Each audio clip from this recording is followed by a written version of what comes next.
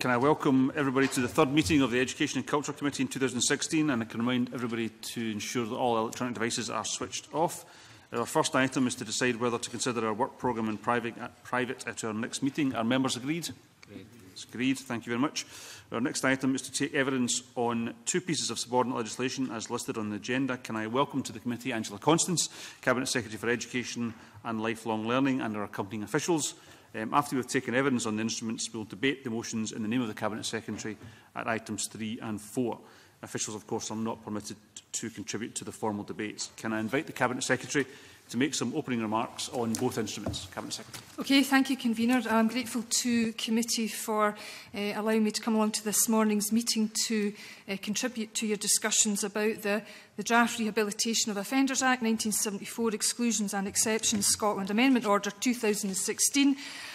and the Police Act 1997 and the Protection of Vulnerable Groups Scotland Act 2007, Remedial Order Number 2, Order uh, eh, 2015.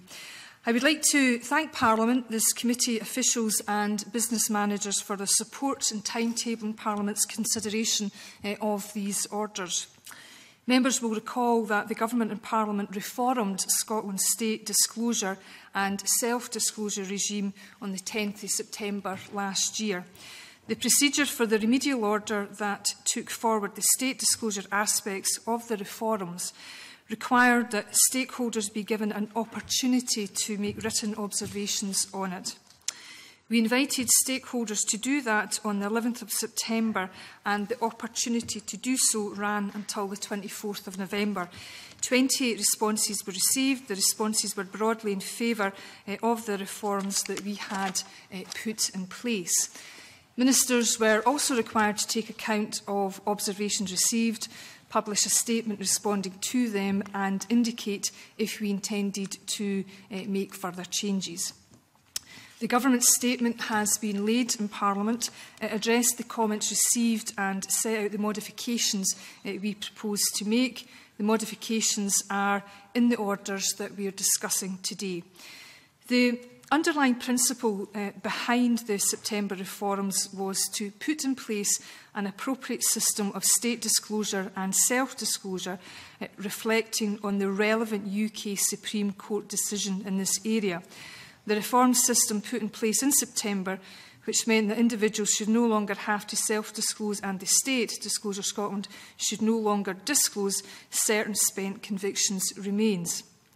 The revised orders refine these arrangements uh, but do not make uh, fundamental changes. It might be helpful to briefly remind members that both orders contain two lists of offences. These lists are identical in both orders. Uh, one list is a list of offences which requires always to be disclosed uh, through state disclosure and self-disclosure. Uh, this includes, for example, rape. The second list is a, a list of offences which requires to be disclosed uh, subject to application of certain rules and this includes, uh, for example, assault. Uh, The key changes in the two orders before the committee are uh, a number of offences have been added uh, to the two lists of offences contained in the orders. Some offences have been moved between the lists in the orders and the time allowed to take forward uh, an application to the Sheriff for removal of a spent conviction from a disclosure has been reduced from six months to three months. Uh, members will recall that both orders operate in tandem, so it is necessary to amend both earlier orders to ensure uh, that state and self-disclosure uh, continue to be aligned. If Parliament approves the orders, uh, the original remedial order will be replaced in its entirety uh, though the, the vast majority of content uh, remains the same as before. In addition, the two offence lists in the Rehabilitation of Offenders Act 1974, Exclusions and Exceptions Scotland Order 2013, it eh, will have amendments uh, made to them. Uh, Convener, I wrote to you on the 24th September following evidence the committee took from officials about the reforms. Uh, I replied on the 6th of December. Uh, I hope that letter satisfactorily uh, answered members' questions. Uh, so once again, I want to put on record my thanks for Parliament's assistance uh, in taking forward uh, these important reforms uh, and I look forward to answering any questions. Thank you. Uh, thank you very much, Cabinet Secretary. Um, if members wish to ask questions, uh, please indicate, but I'll, I'll kick off, if you don't mind. We've had a number of submissions, Cabinet Secretary, um, about uh, these orders. But can I begin um, with some questions from uh, the uh, Scottish Council of Jewish Communities. They, as you'll have noticed from their submission, have got a number of areas that they've got some questions and concerns with. Um, the first one was about the, the date from which the notification period should be counted. Um, uh, what they state is that there is an inconsistency in the way that this is uh, laid out in the orders. Um, uh, 34116ZB3A states that an individual is allowed 10 working days beginning with the date of the issue of the certificate. However, 4552A3A states that the relevant period will be 10 working days beginning with the date on which the scheme record was sent to the scheme member. That sounds inconsistent to me. Which, which of those is it? And, or is there a reason why there are two different uh, descriptions of when the 10 working days begins from? Okay. There is a complexity to, to this, so I will ask officials, I will ask AILSA in particular to be um, clear about that. So the, the, there is different wording. Mm. The 10 days, though, it is counted from the date that the disclosure is issued and sent out to the applicant. And the date of issue and the date of sending out are the same.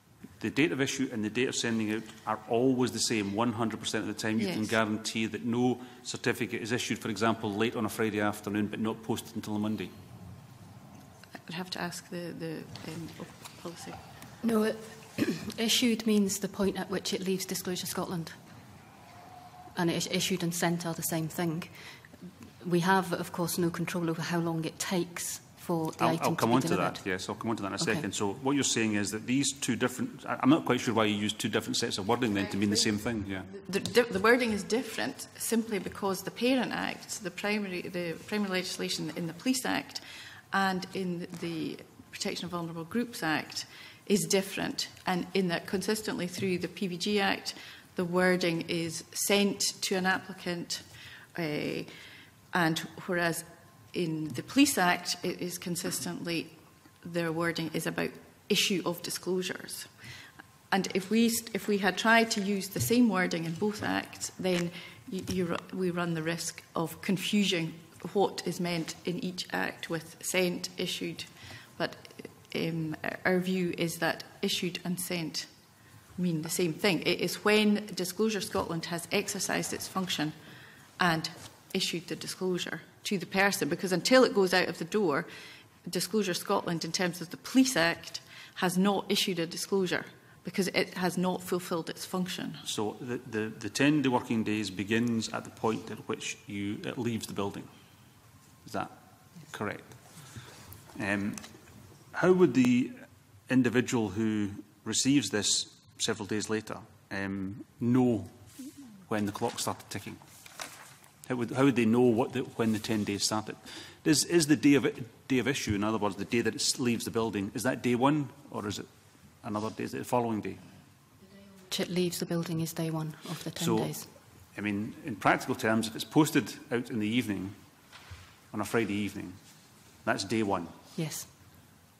Right.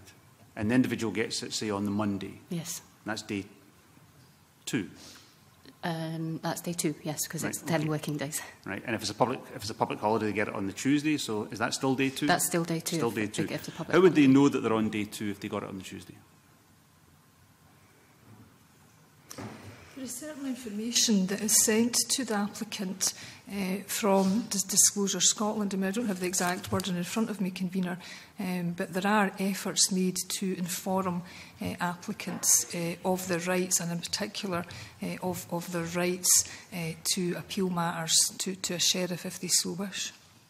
No, I understand that. What I'm, what I'm asking is, if I am waiting on uh, this coming to me, and it arrives through the post, uh, you know, um, and I go home this evening, it's there.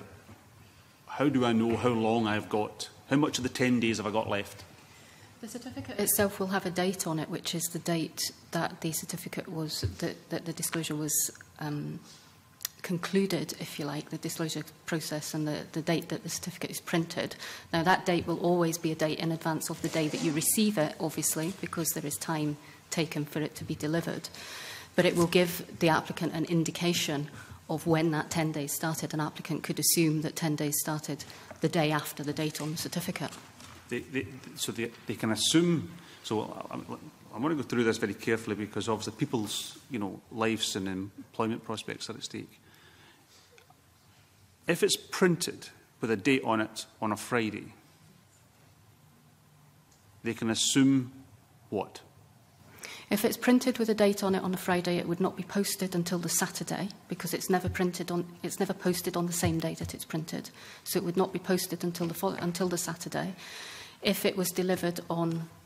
the Monday, and that's the part that we have no control over, which is why we can't specify exactly when the 10 days starts.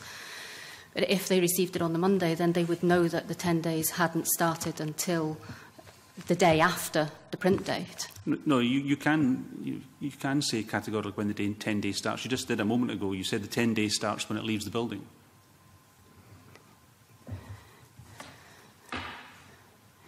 But as, a, but, as the recipient of that, how do I know how many days I have left?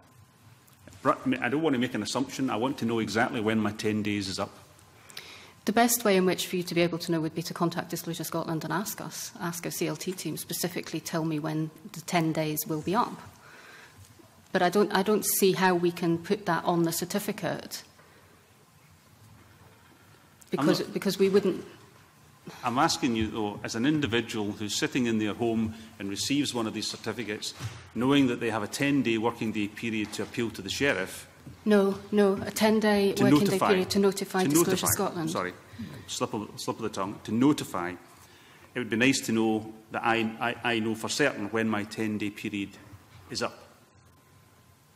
Was that not, is that not reasonable?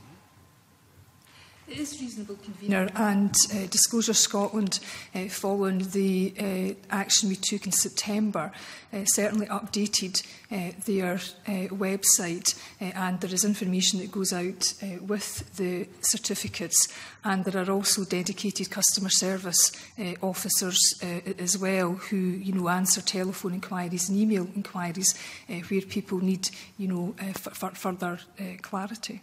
Uh, when you send it out, does it say you know, if you want to know when the 10 days is up, contact this number. It says if you intend to, if you want to notify us of your intent to appeal, you must do that within 10 working days. The date, there will always be a date on the certificate that gives the applicant an indication of when that 10... no, you said that before. It doesn't tell them when the 10 days is up, though, does it? It doesn't. No, and I'm asking you whether or not you tell people when... that if you want to know when the, the 10 days is up, you have to contact us? We don't specify that. You don't specify in that, that in the um, insert. Right. Do you think that's an issue? I think that's an issue. The evidence so far would suggest that it may not be because we have we do have people notifying us within 10 working days and people notify us within plenty of time within that 10 working days but there, there may well be other people who you know for whatever reason haven't come to their certificate early after it's been received and, and may not know that they're still within the 10 working days. Okay. Um, the length of why did you choose a period of 10 days as a notification period? Um, you, yourself, you just, you've just stated that, of course, you don't know when, how long it would take for it to arrive at an individual, how long the post takes, depending on bank holidays, Christmas posting, all the rest of it. Why did you choose 10 days? We chose 10 days because we thought that was a reasonable period of time in which to allow people to notify us, given that these certificates are generally being requested for employment purposes and because we are withholding the counter signatory's copy of the certificate until that period of time for notification has passed. Um, we felt that 10 days was a sufficient period of time in which to withhold that because that holds up the employment decision. What, what would happen if somebody's on holiday? They would miss the 10 days.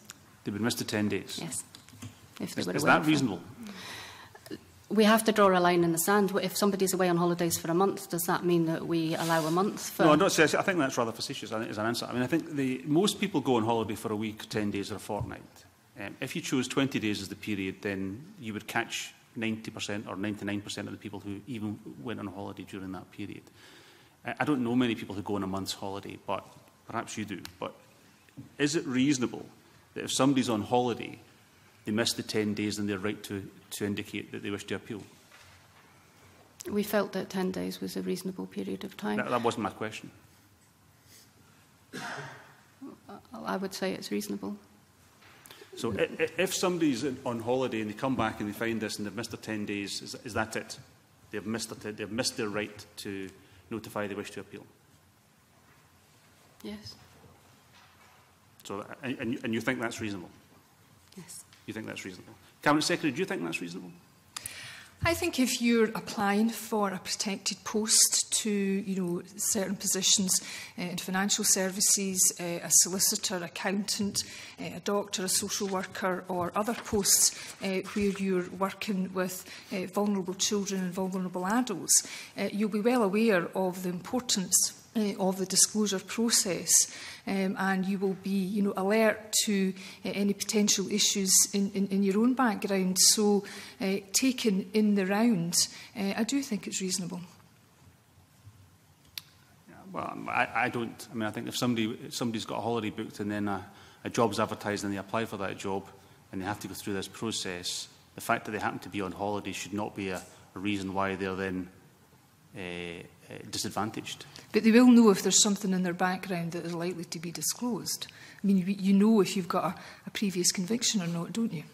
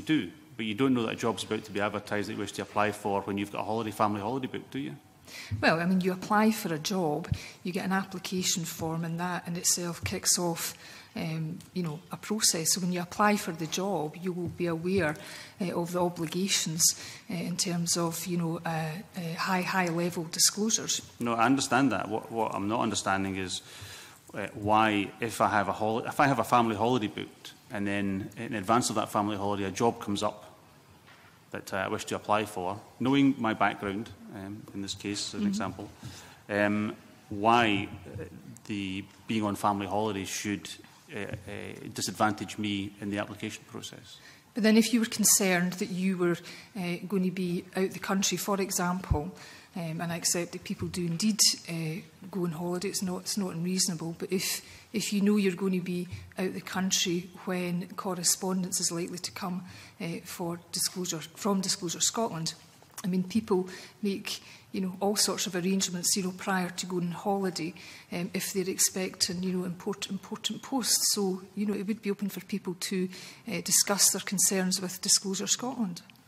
So if I was prior going to going on holiday. If, if I was going on holiday in such an eventuality, um, could I notify you in advance of receiving your, your correspondence that I would wish to perhaps put in such an appeal? You could notify us. A better course of action, though, would be to discuss that with the person who is countersigning the application form and uh, speak to them about the correct point or the most desirable point in, at which to submit the application. You have to fill the application form in first, and it has to go to the employer. Mm -hmm. The employer has to consider that, whether they're going to employ you or not. Now, what, what period of time that may take, how many applications a person's got, and then the registered person has to make a decision whether they actually want to actually undertake that because there may be an interview process. Yeah. So it may take longer than two weeks from the point the person sees the job to actually doing that. So what, at what point?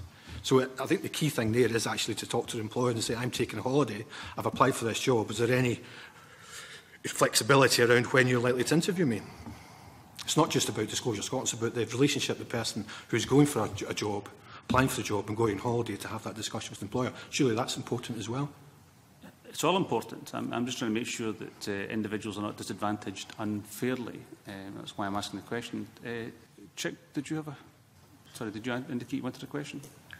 No, I, I want to ask a question about the, the list of offences. And, a separate issue, okay. Um, can you confirm, um, Cabinet Secretary, um, why there is, um, does not seem to be a process to allow an individual to indicate that they have changed their mind after they've indicated they wish to appeal uh, or they, they may wish to appeal to a sheriff uh, within the 10 days and they decided then after that period that they, decided they will not appeal. Mm. Okay, I'm going to ask Diane to answer that. Within the, if, if, a, if an applicant notifies us within the 10 working days that they intend to submit an application to a sheriff, they receive an acknowledgement email from Disclosure Scotland which sets out the steps that they need to go through and the implications of those steps, which reiterates the information that they've already been sent. Um, but the person can then notify us within the 10 working days that they want to withdraw their intention to the notification of the intention to appeal if they do that within the 10 working days we will withdraw that notification and the counter-signatory copy will be sent out. If they don't do that within the 10 working days, then it's correct that there is no provision for the applicant to withdraw their notification of intention to appeal. And the purpose of that was because we, we didn't feel that we could cater for every possible eventuality of people changing their minds and the point at which people might change their minds.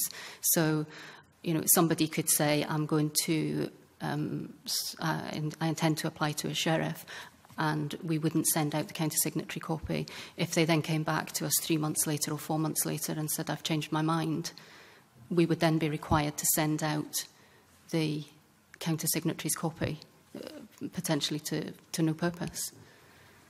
Yes, but if you, if an individual has applied, said, notified that they intend to appeal within the 10 working days, and then they change their mind, let's say within, let's first of all take the case where they, cha- they, they decide to inform you within, rather they change their mind within the 10 working days.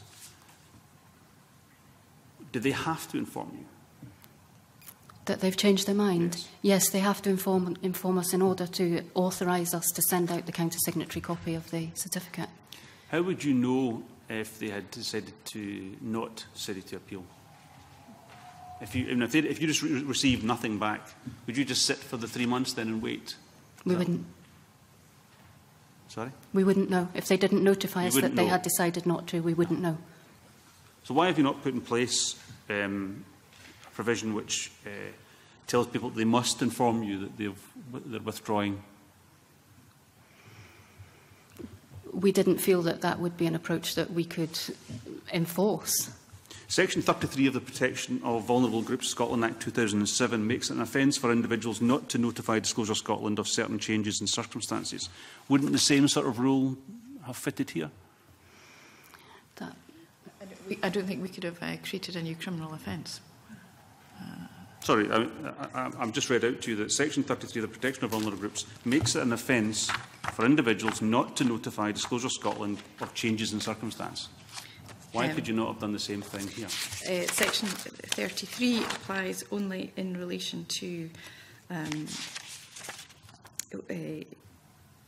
the circumstances listed and any other circumstances that we have prescribed.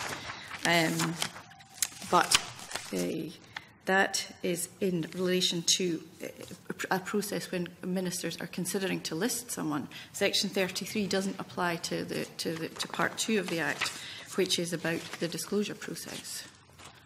It was a general point, not about the specific. I mean, given the fact that there is a, a, an offence for individuals not to notify Disclosure Scotland of certain changes, Yes, but we couldn't have created a new criminal offence in, in, in, the content of the in the context of the remedial order. No, I know that. Not in terms of putting it through in terms of through the remedial order. I understand that. Yes. I'm asking why it wasn't done. No, in general, why why would you not um, uh, uh, put this in place to ensure that individuals had to inform you of this change in circumstance, given you've done it elsewhere? Well, this was done in primary legislation, the, the, the, the requirement, the, the offence provision. No, I understand that. I'm, I'm asking a general question about why it wasn't done in this circumstance. We had no powers to do it in this circumstance. To require, to require, to Sorry, no, obviously, offense. no, you're obviously misunderstanding me. I mean, given the fact that you have done it before, using primary legislation, I accept. Uh, and I'm not suggesting for a moment that you could do it through the secondary legislation that we're discussing here today. But what I'm asking you is, why, in one set of circumstances, would you create an offence for individuals not to notify the Disclosure Scotland of changes in circumstances,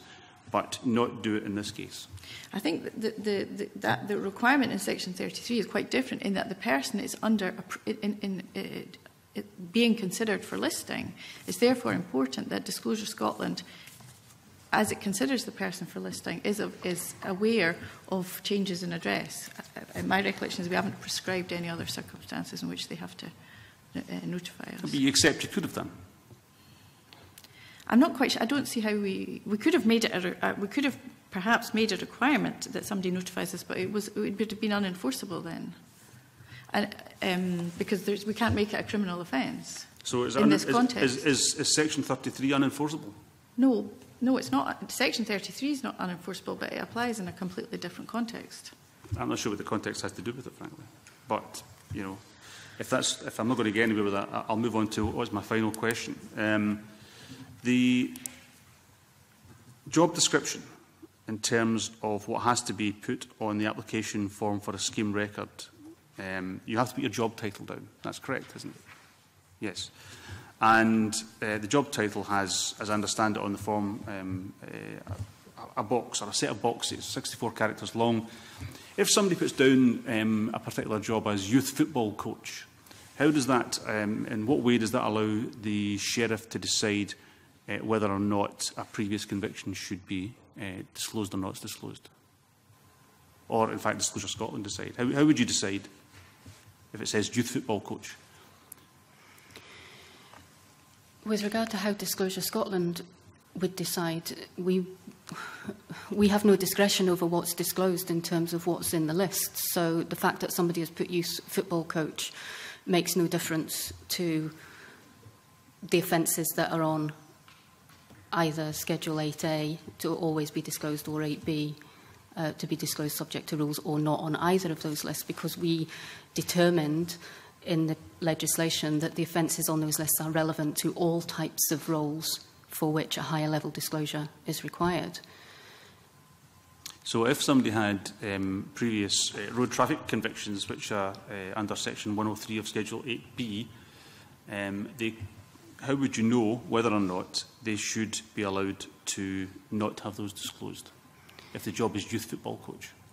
Well, if they're on Schedule 8B, mm -hmm. then the rules within the order determine that they should be disclosed because they ought to be of relevance to the consideration of employment for a, for a role that requires a higher level disclosure. Uh, sorry, if, if the person's applying for that job and the job does not involve any driving,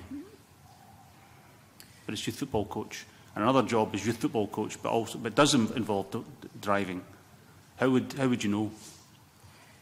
Because when drawing up the list of offences, consideration uh, was given in terms of not not. Um, you know, that, that there isn't a correlation between different types of jobs and what may or may not be disclosed when you know, the issue is, you know, whether there has been, whether a crime is in relation to dishonesty, whether a person's been in a position of trust, uh, reckless behaviour, um, and the policy document uh, it details um, principles uh, that have informed um, the, the, the, the, the, the, the two lists. So in devising the two lists, uh, the policy note It talks about you know, where people are going into positions of trust, uh, positions of authority, um, where um, you know, we would be interested in offences that, you know, relate to uh, recklessness or, or, or, or, or serious harm. If someone dis is in dispute with that, if an individual feels that a previous uh, offence that is currently listed uh, in 8b they can then take that to the sheriff. And of course, you know, the sheriff will draw on all the resources that sheriffs do in deciding what's reasonable and uh, how to apply the law. And, you know, case law will, be, will come forthwith. Cabinet Secretary, that's what I'm asking. um, what information beyond the job description would be available then?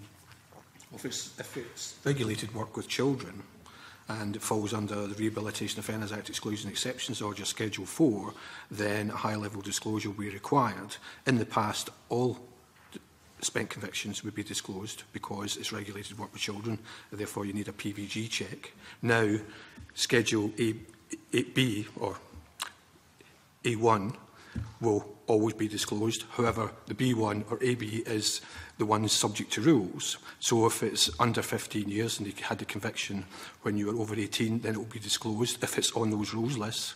If it was admonished, it wouldn't be. If it was an absolute discharge, it wouldn't be one spent.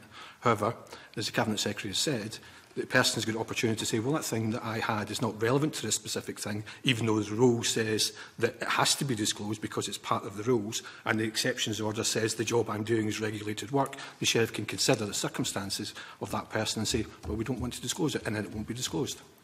Right. right. So the relevant, the relevancy is the question here. So uh, in terms of the individual making the application. Relevance is whether it's a, a job that's excluded from the protections under the Rehabilitation Offenders Act by the Rehabilitation Offenders Act Exclusion Exception Scotland Order. And the key thing that kicks into PVG is Schedule 4, which talks about either regulated work with children or regulated work with adults. And if the employment falls under those, then high-level disclosures are required. There's other, obviously, employment where you have a standard enhanced disclosure or not, rather than a PV disclosure. So it's the exclusion and exceptions order that disapplies the protections that allows disclosure of spent convictions to be allowed.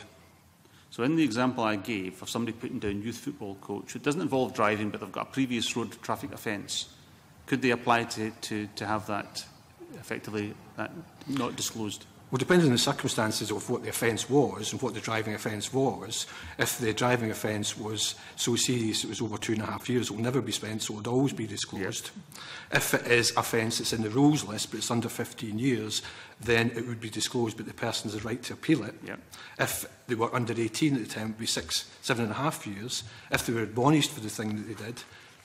then it wouldn't be disclosed once spent. If they had an absolute discharge, it wouldn't be, spent, wouldn't be disclosed once spent. Okay, so but, so, so my, my it depends on could... what that is. Does that specific job title fall under the PVG rules as a result of regulated work with children? If it does, then higher level disclosure is required. Mm. The person has obviously got the right, if it's not, if it's on the rules list, to appeal it to the sheriff, they and the sheriff can make that decision. That was my question. So yeah. they can they can appeal it. Yes. In, in the circumstances. In the circumstances. To remove it. Following on from that, therefore, um, given that the, the Schools of Scotland can determine whether a subsequent scheme record application has been made, and I'm going to just quote, made for the same purpose for which the application for the other certificate was made. In other words, another youth football coach in another, for another employer.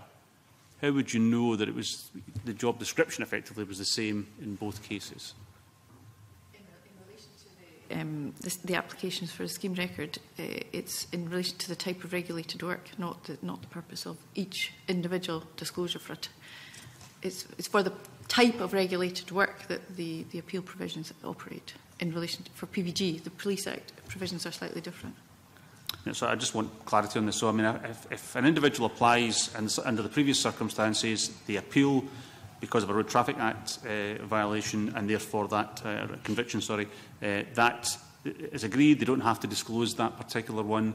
Then they apply, apply for another job, a different job, which has got exactly the same job title.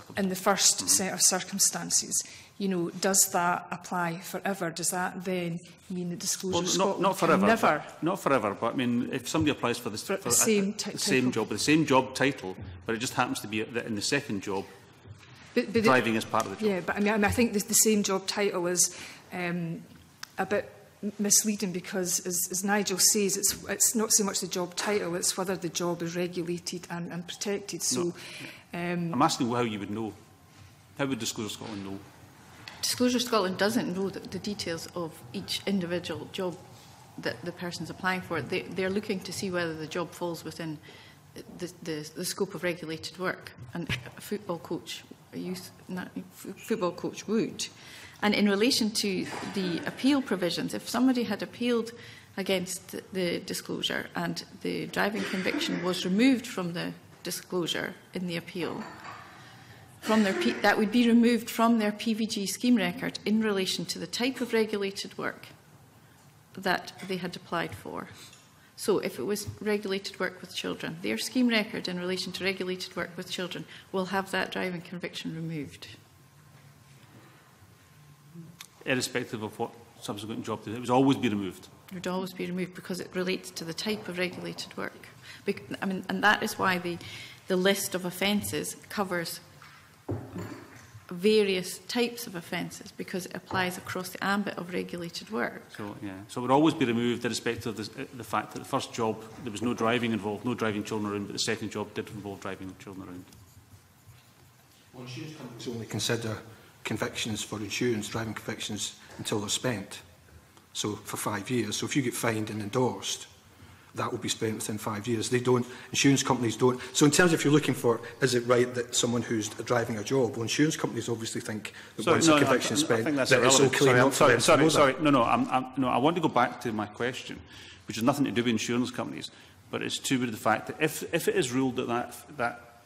conviction does not have to be disclosed, I'm asking you, and I asked the question, would it be permanently that would be the situation? The answer was yes.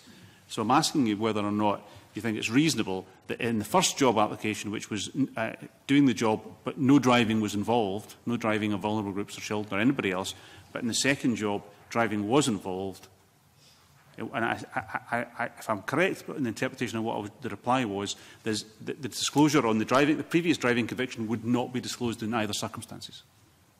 it couldn't be disclosed because the sheriff has ordered it. It's removed from the person's scheme record in relation to regulated work with children. The sheriff, in making that decision to remove the, the driving conviction from the record, has to be satisfied that the driving conviction would not be relevant, not to the job that the person applied for at that time, but to the type of regulated work in which right. they participate in the scheme. Okay. So it's a matter for the sheriff to consider when he is, or he, she is looking at actually removing something from someone's record, that if someone is at the moment not doing a job that involves driving, but you know, at some point in the future could be doing regulated work with children that in, involves driving, then the sheriff has to take that into account in making a decision. So the sheriff and all, will take all possible future circumstances. Would have to, because the sheriff is That's required to remove this conviction from the, the, scheme record. So the sheriff is then aware that the, that, the, that that conviction is being removed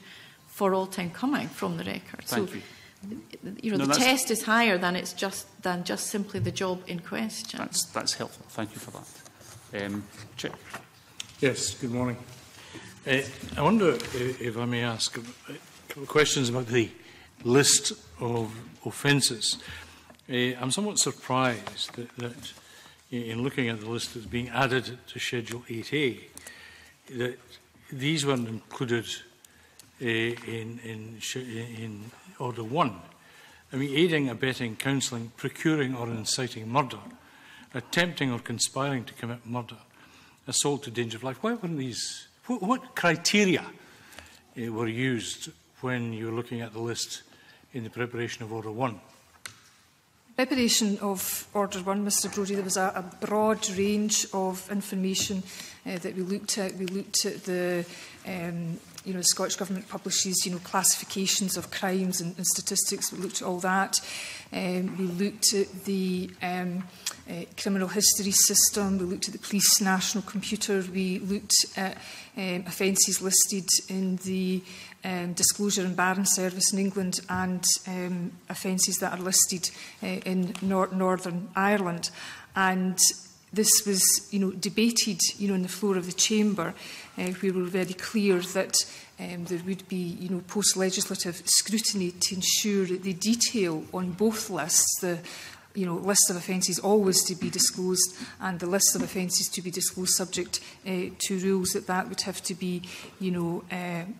uh, you know, subject to further scrutiny and also uh, subject to further uh, quality uh, assurance. And in terms of some of the offences that uh, you mentioned in particular, um, you know, aiding, abetting, counselling, um, you know, procuring, you know, inciting, you know, um, known as you know aggravations you know to serious offences uh, similarly with uh, you know danger um, of life i mean these are um, aggravation to serious offences what we wanted to do was to put beyond any doubt um, that these offences should always be disclosed because while um, it is likely that the um, conviction, that the, the punishment would always mean that these offences you know, would be uh, disclosed forever and that they would never be spent. Uh, we did, after you know, further reflection, scrutiny, quality insurance, want to um, put that uh, beyond absolute doubt. Uh, so there, there, we have added to uh, Schedule 8E, um, E1, you know, as, as, as a result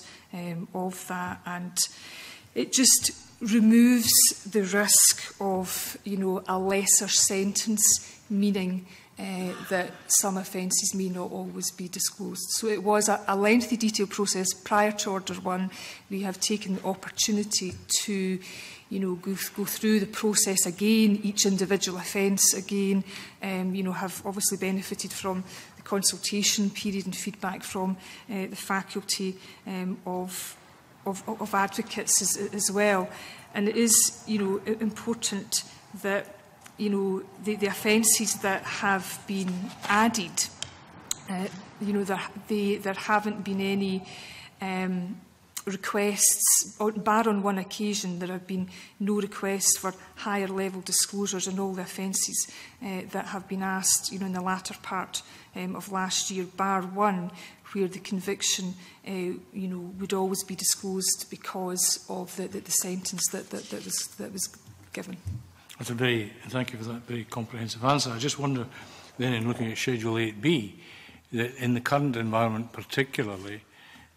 um, the, the, and, uh, the offences to be added under that schedule is, first of all, uh, those offences that are racially aggravated and those that are ag aggravated by religious prejudice. Why are these in Schedule 8B and not in Schedule 8A, given the, the, the landscape that we currently have? Yeah, and Um, one of the things that we did do uh, in the the 60-day post-making uh, consultation period was that we wanted to um, give further uh, consideration to the, the, the Equality Act. Um, the aggravations uh, that Mr Brodie mentioned have been added uh, to uh, Schedule B, I suppose in the same way that aggravations involving children um, or sexual motivations have been added to uh, Schedule A. Um, you know, th these are um, all serious um, ag aggravations and it is important to remember that in terms of Schedule 8B B1, that for an offence committed by someone over 18, I mean, we're talking about a disclosure Eh, you know, 15 years, it will be 15 years um, before eh, this,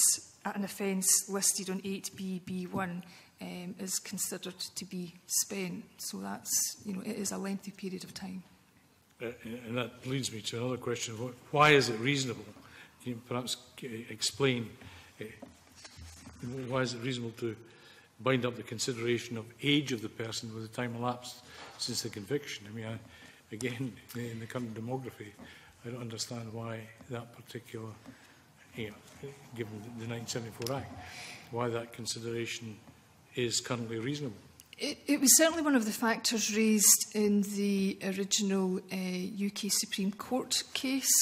Um, that court case, as we know, led to um, us having to refine um, our disclosure uh, procedures uh, in a way that uh, was more uh, proportionate. Um, and age is currently a factor in the Rehabilitation of Offenders Act, which goes back to 1974, but in the actual judgment uh, from the UK Supreme Court, where they accepted that having a system of higher level disclosures was indeed appropriate and that there should be offences that are never uh, you know, they may be spent in some contexts, but in other contexts, you know, they can't be spent. Uh, and it, you know, pointed to certain factors uh, that um, contributed to a fairer, reasonable, more proportionate system, and age uh, was, was certainly one of them.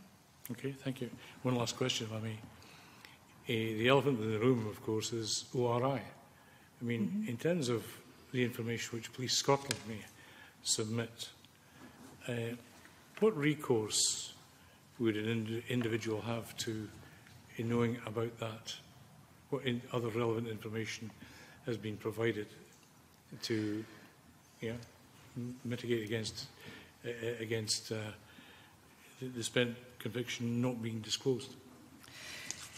The police have always had the authority over and above uh, the high level disclosure system to disclose anything uh, that's, that they have information about that is considered proportionate and reasonable and relevant uh, to, to, the that? release.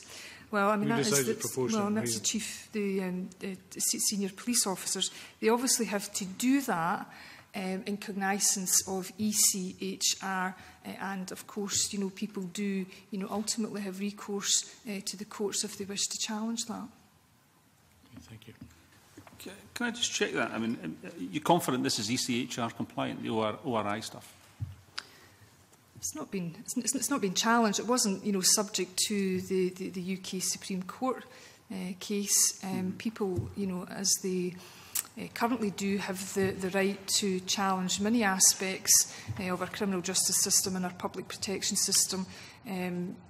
on, on an ECHR uh, eh, basis.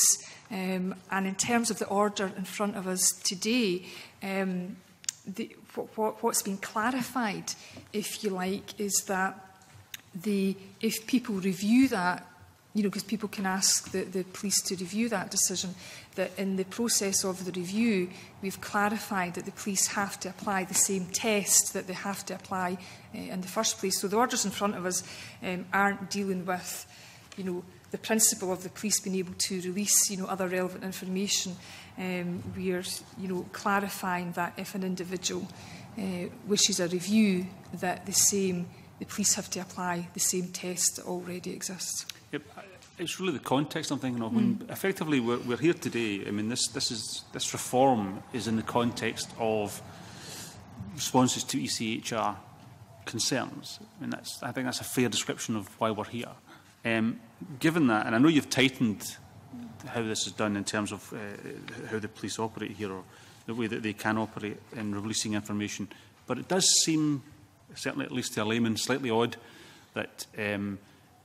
the police could still, ha still have the authority or still have the right to provide information about spent convictions or even stuff which is not even a spent convictions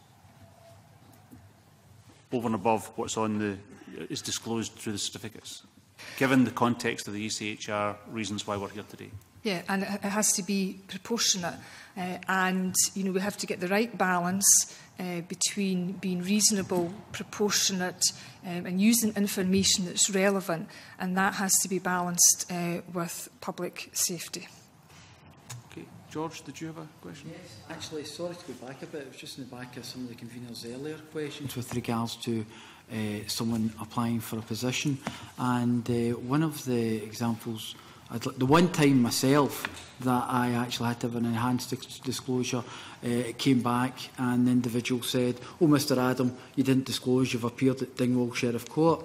Now, it's not quite as exciting as what you all think it is at the moment. I hadn't paid the Sky Bridge toll, but I managed to tell him that and uh, the individual then said, well, that's okay then. Now, in some of these things that are already on your disclosure, would that not be the kind of conversations that would be had when someone's actually applying with a job at that stage, you know, or, or applying for a position, whether it be a youth coach or whatever, whether it be a road traffic offence, you know, with some of these minor offences, would that not be the kind of conversations that would be had? I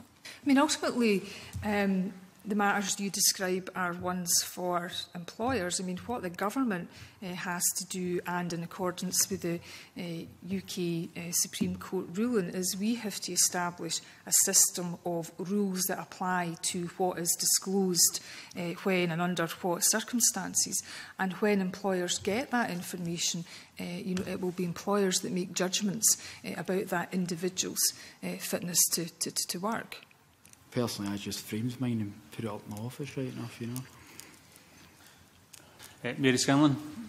Just a point of clarity, convener, can I apologise for being late? I did uh, mention it to you last week, but I've been at the Health Committee putting forward nine amendments on the health bill in terms of uh, willful neglect uh, ill treatment and abuse. So when I came here and heard Chick Brody's question, so can I apologise, Convener, if this has already been answered um, uh, to the rest of the committee? Uh, it's the offences to be moved from uh, Schedule B to A 8A uh, e, eh, on ill treatment and willful neglect. And uh, I really just uh, seek a, a piece of clarity um, here, uh, uh, convener. I, want, I wonder what is the consequence of moving this offence and uh, uh, having, you know, does moving it to 8A e strengthen this offence?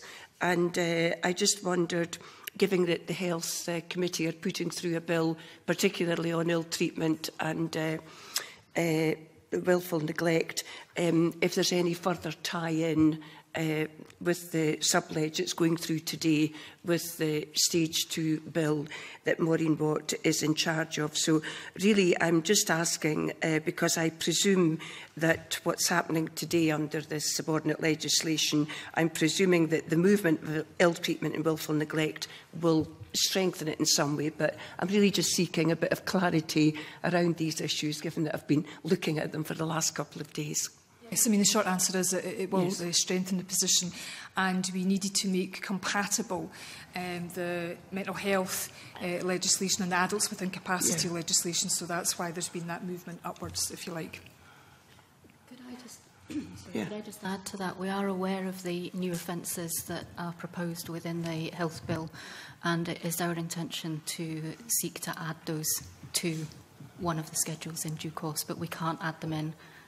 at this point because they're not yet enacted. That. But you are, it, it, will be added here. It's our intention to add yeah, them in thank due you, course. Convener. Yes. right. Um, just uh, two quick, hopefully, clarifications. Uh, I presume that you know, in future any new offences that are created will be uh, just will create new orders and effectively you will just add them in the normal process. That would be the standard where you'll do that yet. Yes, um, and uh, Disclosure Scotland will also undertake um, a review, you know, a, a formal review in three years' time, which will allow it to look at any case law that's been e-, established in the event of appeals as well. Okay, and I just want to, just for absolute clarity, it was really in relation to the, the questionings, the questions from uh, Chick. Um, you talked in your answer about the serious offences that uh, have been, are being added to Order 2, um, and also the ones that are being changed from 8B to 8A, effectively. But you, you talk mostly about um, the aggravations, the stuff that's been effectively been added because of aggravating factors. Mm -hmm. But can I just check, um, because some of them are not aggravations. I mean, they're yes. Mm. effectively you know, offences which are just being added straight into 8A. Mm -hmm. Assault to danger of life, for example. Now, can you just explain why, why were these offences not in the original order. Eight, uh, sorry, the ones that, uh, um, not the aggravations, the actual uh, new serious offences that have been added to 8A. Why were they not in the order one? Well, I, mean, I certainly uh, hoped I covered that uh, comprehensively in my, my answer to Mr Brody. There were some um, intricacies um, around, um, you know, some offences, you know, like, you know, murder, you know, can never be spent. Um, so therefore, we wanted to look, you know, very, you know, carefully at, you know, offences, you know, aid and abet and counsel and procuring or, or inciting um, to, to, to murder. So, you know, we needed to, um, you know, make sure that we were capturing um, everything. And we were very clear uh, when I went to, to Parliament that while we had done our, our best to ensure that everything was in the right list, um, I mean, we certainly weren't um, arrogantly you know, suggesting that there wasn't a need for further scrutiny uh, or indeed, you know, the, the expert views of people like from the, the, the faculty of, of, of advocates. I don't know if officials want to add anything to that.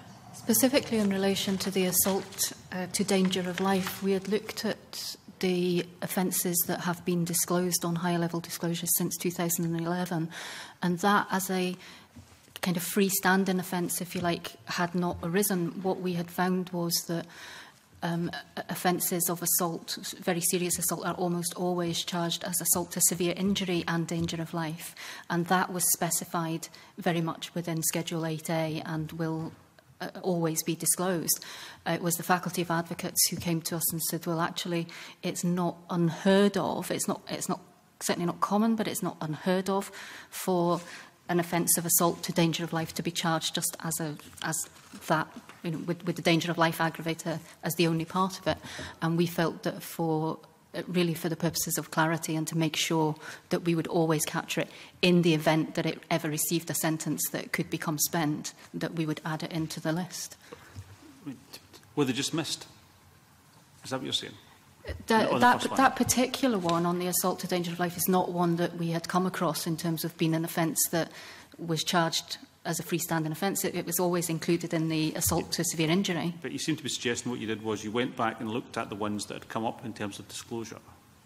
And that's, that's how you created the first list. Is that, is that right? That was one of the considerations. we, we also you know, we, we looked at the um, CHS list of every offence uh, so, charge charge code that C exists in Scotland. Is... Sorry, the criminal history system. Criminal history system. Um, there's, a, there's a very extensive list of eight 8,000, in excess of 8,000 charge codes um, for offences in Scotland, and we went through that and looked at every single offence code. And these weren't on it? There's, the assault to danger of life was on it, but it wasn't anything that we have ever disclosed in since 2011, since um, PVG came into effect. Okay. Because, but, but we have disclosed lots of assault to severe injury and danger of life. Okay. Um, uh, given that, are we confident now that we captured everything that needs to be captured on these lists. There's been very extensive work undertaken, uh, you know, in, in bringing together the original order. Um, that has been, you know, added to with, you know, even more detailed work in advance of this uh, order because it's been subject to or it's been informed uh, by uh, co consultation. So I, I think we are as confident as we can reasonably, reasonably be. Okay, thank you. Uh, just one final question. Is, is there any chance that any of the, the uh, offences which are being added to or being moved um, in this order, that there are some people who effectively, between Order 1 and Order 2, um, would have been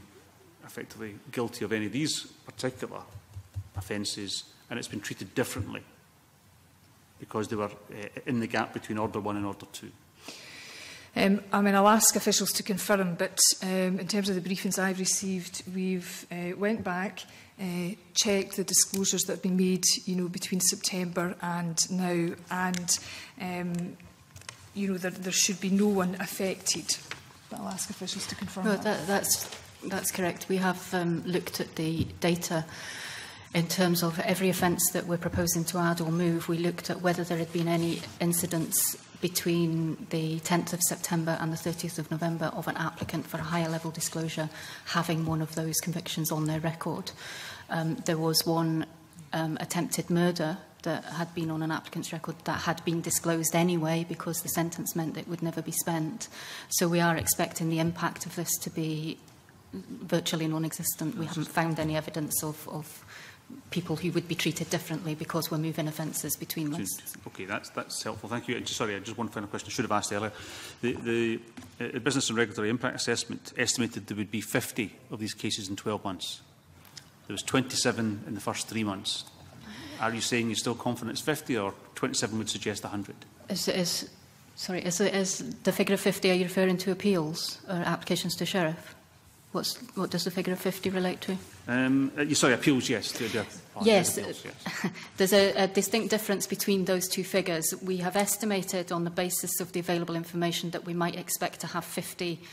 applications to a sheriff proceeding in the course of a year. Yeah. The figure of 27 uh, is the number of or was the number of notifications of intention to appeal that we have received. Mm -hmm. the, the current figure is um, actually 65 and of those 65, 19 have subsequently been withdrawn. So we have 41 um, extant notifications. However, none of those notifications have yet, to the best of our knowledge, transferred into an actual application to a sheriff. So that estimate of 50 appeals over the year is, is you know, we're not expecting that to be exceeded because we haven't yet had any actual applications to a sheriff. Okay, thank you. Thanks for clarifying that. Thank you. Um, Uh, as indicated earlier, we now move to the formal debate on the Police Act 1997 and the Protection of Vulnerable Groups Scotland Act 2007 Remedial Number 2 Order 2015 SSI 2015-423, which is item 3. Can I invite the Cabinet Secretary to speak to and move the motion?